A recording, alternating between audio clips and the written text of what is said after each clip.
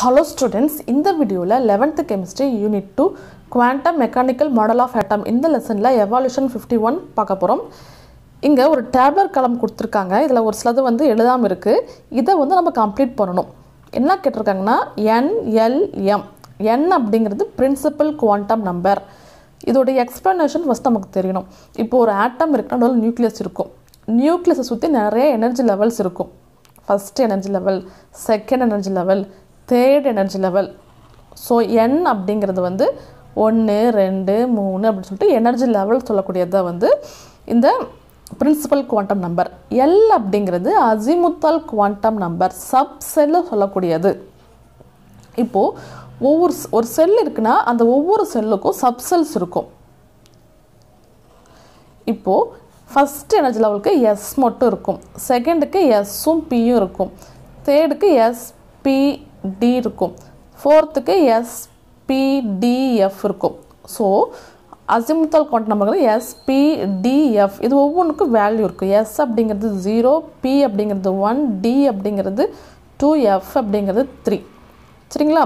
M அப்படிங்கிறது magnetic quantum number magnetic quantum number அப்படிங்கிறது ஒரு எலக்ட்ரான் வந்து நியூக்ளியஸை சுற்றி ஒரு த்ரீ டைமென்ஷனல் ஸ்பேஸில் எந்த டைரக்ஷனில் சுற்றிட்டுருக்கு அப்படின்னு சொல்லக்கூடியது தான் வந்து மேக்னெட்டிக் குவாண்டம் நம்பர் இதோட வேல்யூ பார்த்தீங்க அப்படின்னா எம்மை பொறுத்தவரையும் எஸ் ஆர்பிட்டாலுக்கு வந்து ஜீரோவாக தான் இருக்கும்.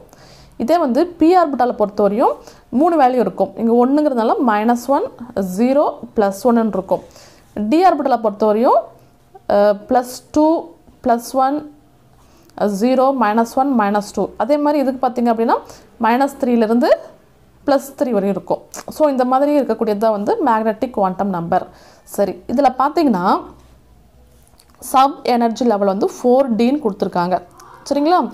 என் அப்படிங்கிறது வந்து என்னன்னு கேட்குறாங்க என் அப்படிங்கிறது பிரின்சிபல் குவாண்டம் நம்பர் அதாவது எனர்ஜி லெவல் எந்த எனர்ஜி லெவலை வந்து இது மென்ஷன் பண்ணுது? இப்போ ஃபோர் டி அப்படின்னா இந்த இடத்துல ஃபோர் இருக்கு இல்லையா ஃபோர்த்து எனர்ஜி லெவலை மென்ஷன் பண்ணுது.